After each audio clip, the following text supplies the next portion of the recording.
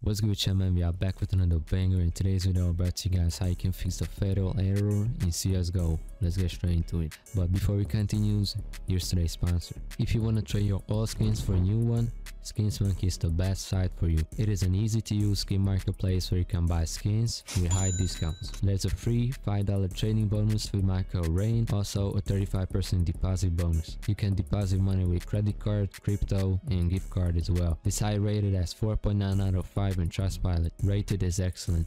Link in the description, make sure to check it out. Boom.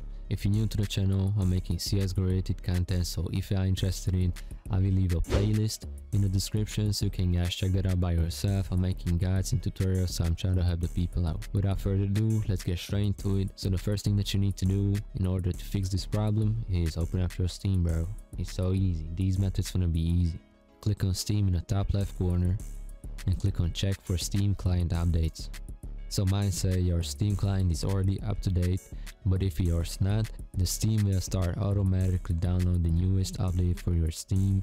I think you need to restart it once or twice bro and that's it. The next step is go to library, find CSGO, right click on it and click on properties.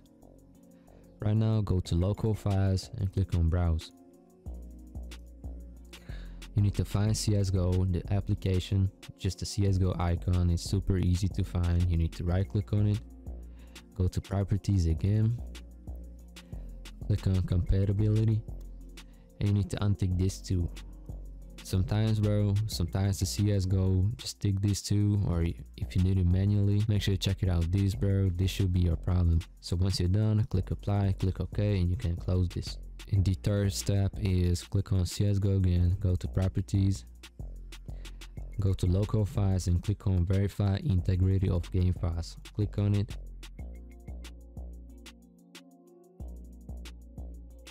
Just by clicking this, by clicking this, the Steam will start searching for occupied files. I'm at 96%. Come on. Yeah, just seen mine says 256 files failed to validate and will be reacquired. What this means, an update will automatically start for your game. The Steam will update it for you, don't have to do nothing, and those 253 files will be re-downloaded for you. Once you're done, click on it. And right now you need to close Steam.